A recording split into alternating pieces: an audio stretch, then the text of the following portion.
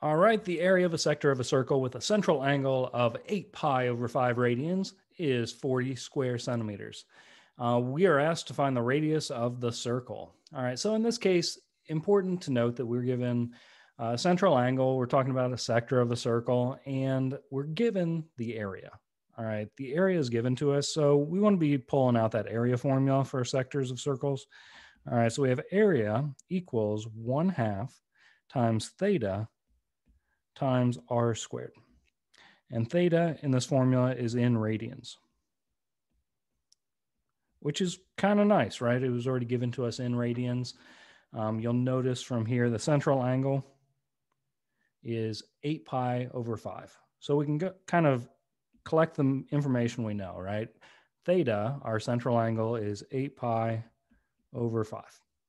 The other piece of information we know is the area, and this one's worded a little bit weird, but the area is going to be 40 square centimeters. So A is going to be 40 square centimeters. Um, let's fill that information into our formula and see what we're left with and how to solve for it. So in this case, we can say our area is going to be 40 equals 1 half times 8 pi over 5 goes in for our radians for our theta times r squared. So our goal is to solve for r squared. Um, let's go, go about this by first combining together those fractions on the right-hand side.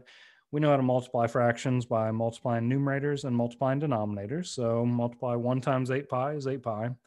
2 times 5 is 10. And then I'll kind of leave the r squared over there on the right-hand side. I think what we can do is we can make this into a power equation where it's just r squared on one side all by itself by getting rid of that fraction. Instead of doing this in one step, I'm going to do it in two separate steps, and I think it'll be a little bit easier to catch on. Um, I don't like fractions, so I'm going to multiply both sides by 10 to counteract that dividing by 10. So multiplying by 10, dividing by 10, we'll basically get to cancel out. And then we have what? 10 times 40 is 400. And then we have 8 pi times r squared. Now remember, our goal is kind of get that r squared on one side by itself, make this into a power equation. So we want to get rid of the 8 pi. It's connected with multiplication right now. So let's use division to move that to the other side. So let's divide both sides by 8 pi. As we have an 8 over an 8, that makes a 1. Pi over pi makes a 1 there. So that's going to isolate r squared on one side all by itself. I'm going to go ahead and say that's r squared over on the right-hand side.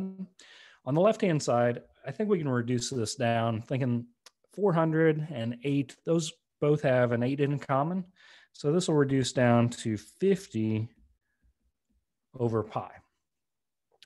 Last thing we need to do is we need to get rid of that square.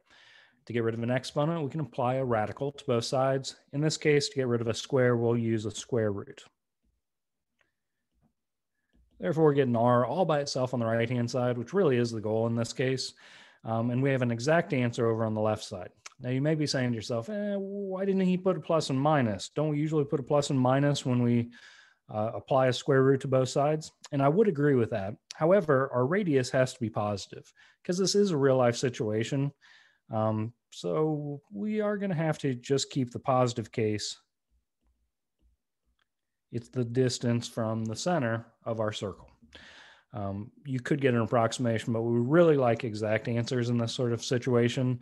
Um, so I'd just leave it as an exact answer instead of getting an approximation. All right. Hope this helps in figuring out these uh, a radius whenever you're given some other information with these this area formula. All right. Good luck to you on these. See you.